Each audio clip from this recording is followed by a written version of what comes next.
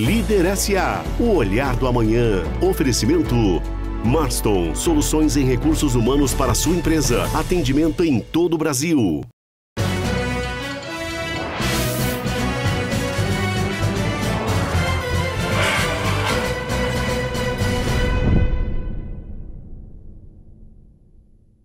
Olá pessoal, obrigado por sua companhia no nosso Líder SA dessa semana. No programa de hoje, nós vamos falar sobre o que há de mais avançado no mundo em se tratando de tecnologia para energia.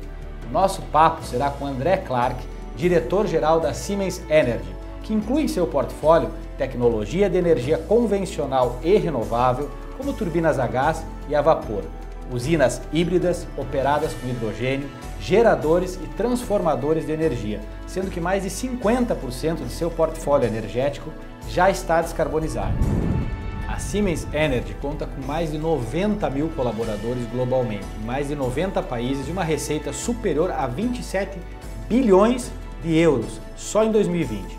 O André também já foi presidente e CEO da Siemens Brasil, com mais de 17 anos de experiência nas áreas de energia, petróleo e gás e na indústria.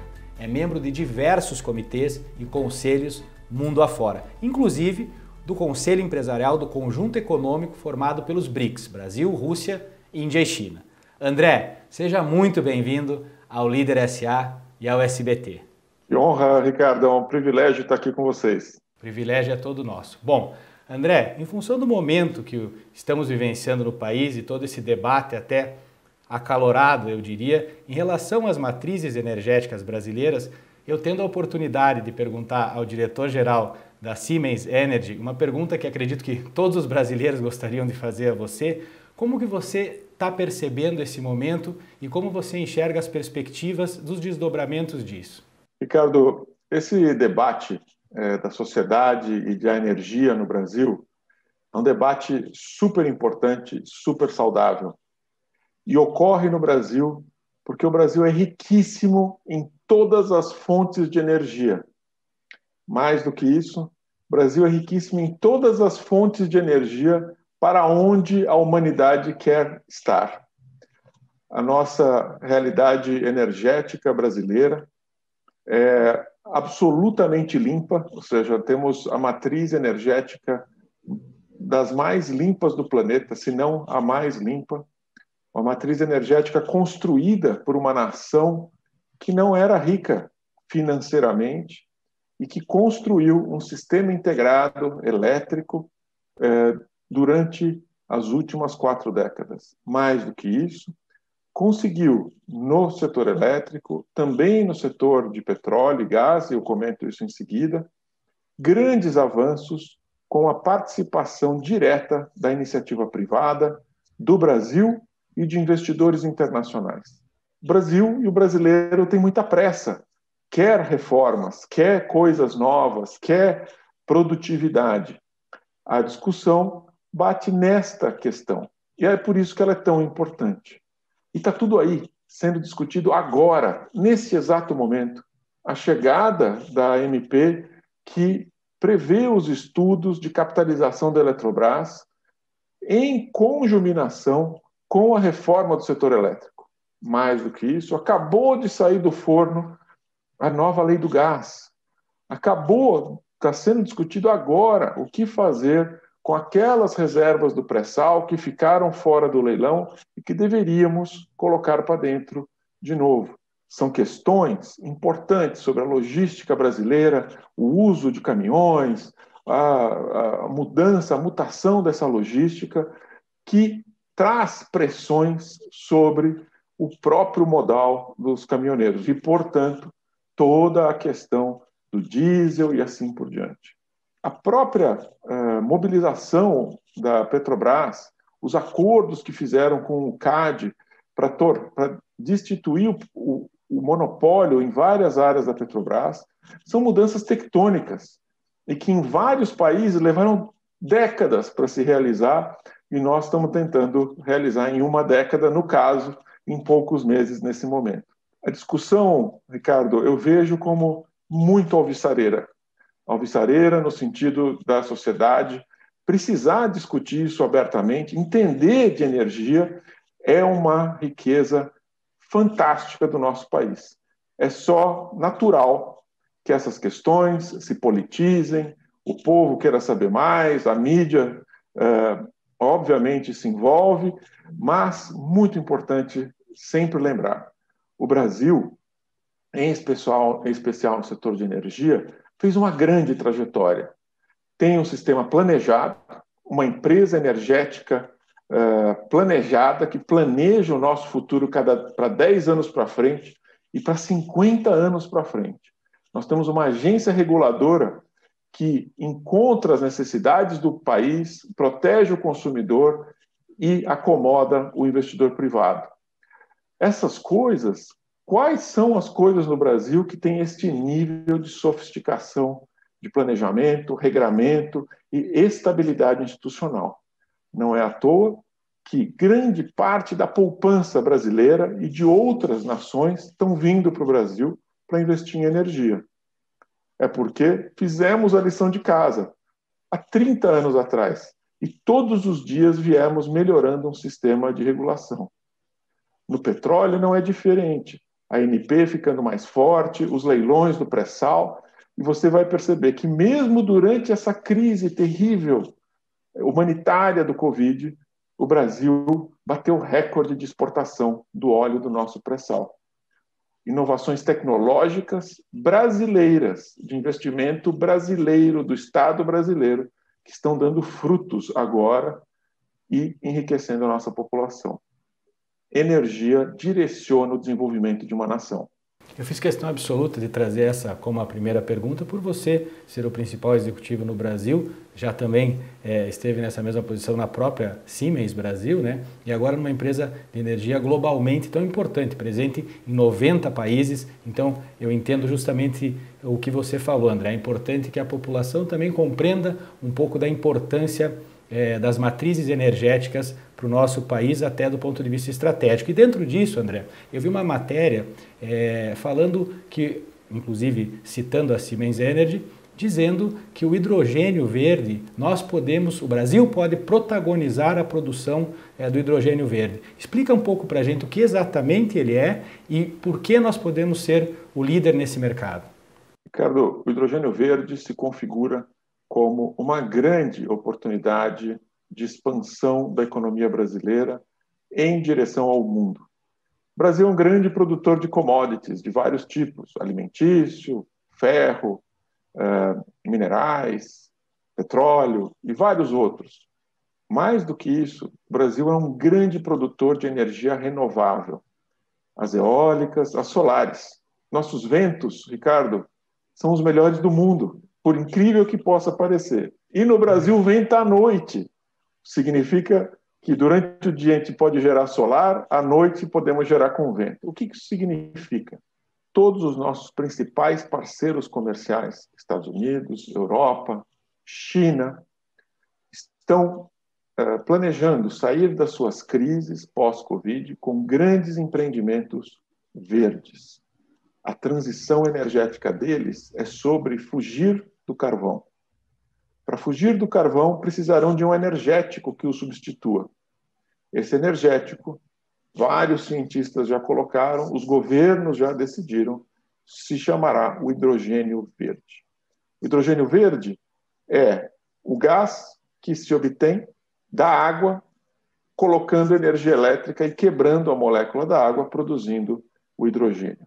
Grande capacidade de geração de calor e, portanto, de energia. Por que isso é tão importante para o Brasil? Todas essas nações não conseguirão fazer o seu próprio hidrogênio na quantidade suficiente para substituir o carvão. O Brasil, parceiro estratégico da Europa, da China e dos Estados Unidos, pode ser esse lugar. Por quê? Nós temos capacidade de produzir muito mais energia do que o nosso próprio consumo interno. Podemos, portanto, exportar toda essa energia verde na forma do hidrogênio verde para esses países realizarem as suas transições energéticas. É como se a gente estivesse exportando energia na forma de um energético verde, sustentável e de grande vantagem comparativa para o Brasil. A Agência Internacional de Energia fez estudos mostrando que o Brasil é hoje o produtor de energia renovável, eólica, de menor custo do planeta. Essa é uma grande oportunidade para o Brasil. O Brasil é a nação verde do planeta. Tem que se posicionar, tem que se planejar e tem que perseguir os objetivos. A gente, no mundo empresarial, a gente sonha, a gente planeja, a gente realiza. Não é diferente com uma nação. A gente tem a possibilidade de sonhar verde, sermos grandes e realizarmos muito desenvolvimento no Brasil. Eu vi também uma notícia, André, que a Siemens é, obteve uma parceria, ou fechou uma parceria com a Porsche, a produtora de automóveis tão conhecida, para a produção é, de produtos ou combustíveis, lubrificantes, enfim, sintéticos, é, com, de uma forma limpa também. Né? Conta um pouco sobre essa parceria com uma grande empresa, uma das principais montadoras de ponta é, globalmente falando, o que, ela significa e o que representa também na questão da sustentabilidade. É isso mesmo, Ricardo. É uma parceria que, a partir de energia solar, nós produzimos uh, hidrogênio e, com esse hidrogênio, produzimos metanol. Esse metanol é completamente sintético, verde, criado a partir da energia solar uh, e levado para abastecer os carros da Porsche e os seus clientes lá na Alemanha. É um, um experimento de hidrogênio verde que transforma os carros convencionais em carros que não uh, emitem uh, gases do efeito estufa, porque seu combustível foi gerado a partir de fontes renováveis. É um experimento que trouxemos aqui para a América Latina e acreditamos que esse experimento possa dar frutos e ser repetido em várias áreas, uma vez que o hidrogênio pode ser transformado em amônia, em metanol, em vários outros combustíveis interessantes e químicos interessantes, inclusive em fertilizantes, que é tão importante para o nosso país. Mesmo a aplicação do hidrogênio verde pode ser usado no aço verde, é o aço que não emite carbono, entre outras aplicações. O potencial de uso de por isso que eu digo, o sonho verde no Brasil é algo muito importante. Imagine a gente poder vender tudo que a gente exporta e vende verde, serviços verdes, produtos verdes, gasolina verde, diesel verde e assim por diante. O Brasil é uma potência nessa área e esse pequeno experimento pode ser uh, uh, criar entusiasmo para outras uh, empresas que queiram fazer parcerias semelhantes. É, e o verde, para muitos dos que estão nos assistindo, é de uma, funda de uma importância ainda maior. Afinal de contas, nós estamos falando com os paulistas e com os amazonenses, que têm a nossa maravilhosa Amazônia. Então é muito legal ver uma empresa como a Siemens com uma trajetória tão importante, que gera tanto, é, economicamente falando, gera tantas oportunidades, mas também com essa preocupação. É, André, é, o que significa a descarbonização da indústria? Eu vi em várias pautas da Siemens que isso é uma grande preocupação, mas para nós leigos fica um pouco distante da compreensão. Conta para gente qual, é a trajetória da Siemens Energy para que chegar nesse objetivo e o que exatamente ele significa do ponto de vista da sociedade. Perfeito, Ricardo. Tem a ver com o aquecimento global. Tem a ver com as emissões de carbono que aquecem o nosso planeta. Tem a ver com o fato que a humanidade está aprendendo que a destruição ambiental dos ecossistemas, das florestas pelo mundo, do sobreaquecimento e o aquecimento global, e por que não dizer a crise do Covid, estão todas relacionadas, são a mesma crise. É a procura incessante da humanidade, agora em todos os uh, grandes países, na procura da redução da pegada de carbono. Todas as indústrias, todos os clientes que exportam, que no Brasil estão sendo pressionados pela sociedade e pelos seus investidores a tomar ações responsáveis na questão do clima. Descarbonizar, tirar o carbono do seu sistema produtivo, emitir menos poluentes, usar menos energia, usar menos, uh, uh, poluir muito menos. Este é o objetivo estratégico. Com isso, vários dos clientes, já vimos anúncios uh, pelo mundo inteiro, inclusive nossos, se comprometeram com seus investidores e com a sociedade que irão ter zero de carbono até uma certa data. É isso uh, que nos motivou a criar a Siemens Energy, uma empresa com um propósito específico: ajudar os clientes a descarbonizar, a tirar o carbono dos seus sistemas produtivos, que em geral estão ligados à sua produção de energia. ESG, Environment, Social and Governance. Os investidores estão com isso no alto da agenda, se organizaram e observam as empresas que fazem suas promessas ambientais, sociais e de governança e entregam essas é, promessas para além dos resultados, dos dividendos e do lucro. É isso. É, você faz parte de diversos comitês e conselhos no Brasil e fora dele, inclusive o Comitê do Conjunto Econômico dos BRICS, Brasil, Rússia, Índia e China. É, conta pra gente o que você tem ouvido nesses comitês, tanto das questões energéticas ou outras questões internacionais, e qual é a posição do Brasil dentro do comitê. O, conceito de BRICS são justamente as economias que têm grande oportunidade de crescimento, que precisam construir as suas infraestruturas, precisam prover crescimentos de energia para suas nações. São essas nações de alto crescimento, como no Brasil. O Brasil é, América Latina como um todo, mas certamente o Brasil, é um país que se espera grande crescimento da geração de energia, das suas redes de transmissão e das suas redes de distribuição. O Brasil ainda cresce, cresce para o interior, ocupa espaços, as nossas cidades ainda crescem são problemas muito semelhantes entre os partícipes dos BRICS. A grande coisa que esses países fizeram recentemente foi a criação de um banco de desenvolvimento dos BRICS, New Development Bank, um banco criado por países em desenvolvimento para países em desenvolvimento. Portanto, esses, esses países estão discutindo entre si projetos de infraestrutura focalizados no desenvolvimento da nossa uh, economia, da nossa sociedade. Esse tem sido o foco principal. Em energia, todos esses países têm matrizes diferentes uma das outras. A Rússia é uma potência do gás e do petróleo, assim como o Brasil, que logo, logo, 2025, aí será um dos cinco maiores produtores de petróleo do planeta. Petróleo e gás. A Índia, a própria Rússia e até a África do Sul é, são produtores de energia nuclear, tecnologias importantes e que a China também está se desenvolvendo nessa área.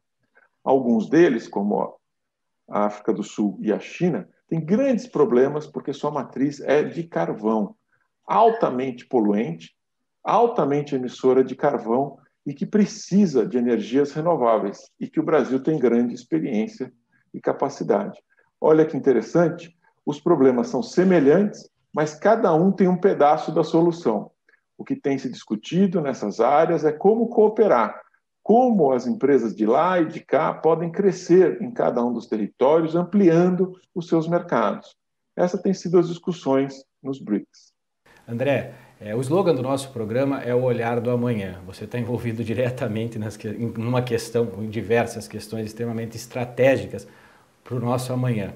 Qual é a sua visão para que não só o Brasil, mas os países latino-americanos como um todo possam olhar para um futuro renovável? Por vários motivos, a América Latina e certamente o Brasil fechou-se para si próprio durante muito tempo. O próprio Brasil é fechado para o resto da América Latina. Isso é um erro. Como bloco, a própria Constituição diz, o Brasil, política externa brasileira, é de integração da América do Sul e certamente América Latina. É momento da gente desenhar os nossos grandes objetivos. E um deles deveria ser uma grande retomada verde. Existem outros, vários outros. Educação, educação fundamental, educação técnica, educação eh, tecnológica de alto valor, as startups. O Brasil é um dos grandes produtores de unicórnio do, no planeta, no meio da Covid. 15 ou 16 unicórnio que o nosso país produz. Aqui no Brasil, com todas as críticas que a gente tem. Acho, Ricardo, que falta a gente decidir, por conta própria, que somos uma nação e que temos orgulho dela e que nós podemos ser grandes no mundo, não só grandes dentro do Brasil ou grandes dentro da América Latina. É uma decisão de população, de empresários, de elite, de estudantes, de professores, um grande sonho. Acho que falta essa discussão. Por isso que me anima um pouquinho as discussões de energia, porque elas são grandes, são grandes decisões. Imagina, hoje o mundo quando pensa, olha, um país verde, rapidamente eles pensam na Nova Zelândia, que é uma ilhazinha pequenininha, linda, maravilhosa, uma delícia de passear, incomparável. O Brasil é incomparavelmente maior e mais poderoso e melhor e mais interessante rico, biodiverso. A própria decisão que nós temos sobre a Amazônia, enorme potencial de biodiversidade, uma potência poderíamos ter ali. O Vale do Silício da biodiversidade. No mundo que pre pretende capturar carbono, nós precisamos ter mercados de carbono aqui no Brasil para poder ter reflorestamento, reconstituição da mata das matas atlântica, cerrado e amazônica como captura de carbono, algo que o mundo está precisando. Tem tantos negócios importantes para a gente fazer. A ideia de que floresta é dos agronegócios mais importantes que a gente pode ter. Protege os regimes de chuva e protegerá a nossa agricultura para o futuro. O Brasil tem no cerne da sua estrutura energética e de produção a conservação como objetivo estratégico. Isso deveria ser simples. A reconstituição das nossas matas. Tantas agendas que geririam tantos projetos, tantos empregos e tanta riqueza e transformariam nosso país na potência verde do planeta. Muito legal a sua visão é, e uma aula para todos nós. André, pelo privilégio de conversar com as grandes lideranças brasileiras, infelizmente o nosso tempo está acabando eu faço uma pergunta a todos os nossos entrevistados e eu gostaria é, de fazer a você, ainda que você já tenha tecido alguns comentários a respeito é, na tua resposta anterior. Para André Clark, o diretor-geral da Siemens Energy, qual é o Brasil que dá certo? Brasil que dá certo, uh, Ricardo, é aquele Brasil que criou a Eco 92. É o Brasil que recentemente, em 2012, refez o evento no mundo, que lidera a grande transformação da descarbonização. É o Brasil que se posiciona como produtor é, de comida para o planeta, mas que também, por causa disso, protege os seus ecossistemas, todos os ecossistemas. É o Brasil que produz riqueza para si e para os outros, que está fazendo reformas que poucos países conseguem fazer. Reforma da Previdência, a França está tentando fazer e não consegue, nós conseguimos. Esse é o país que eu acredito. Esse é o país da agenda é, que vai dar certo. Não tem jeito, vai dar certo. É muita potência junta. É o Brasil que se organiza de baixo para cima. É o Brasil que o cidadão percebe que primeiro se organiza no bairro, depois na cidade, prefeito, depois no estado, governador, depois lá em Brasília. Nossa vida é aqui, entre nós, nas nossas comunidades, cuidando das nossas crianças, da nossa educação, das nossas universidades, dos nossos investimentos em tecnologia, dos nossos problemas, dos problemas dos nossos vizinhos, das nossas regiões. Esse é o Brasil que vai dar certo. Vai dar certo. É só uma questão de quando. E vai dar certo logo, logo. Eu sou muito otimista sobre a próxima década. Que bom, fico muito feliz em ouvir essas palavras de você. André Clark, muito obrigado por esse papo sensacional. Em nome do Líder SA e do SBT, eu quero frisar que as portas, todas as nossas portas, estão sempre abertas a você e a todo o Grupo Siemens. Muito obrigado, Ricardo. Privilégio estar aqui com vocês. Muito obrigado. Eu quero agradecer imensamente todas e todos vocês que estiveram conosco em mais um Líder SA. Nós temos percebido o aumento no interesse do nosso programa e é uma alegria contar com vocês aqui conosco. Sigam nas redes sociais, arroba ricardo.sbt, arroba líder.sbt. Mande sua mensagem, vai ser um prazer conversar com você. Até o próximo sábado. Líder SA, o olhar do amanhã. Oferecimento Marston, soluções em recursos humanos para sua empresa. Atendimento em todo o Brasil.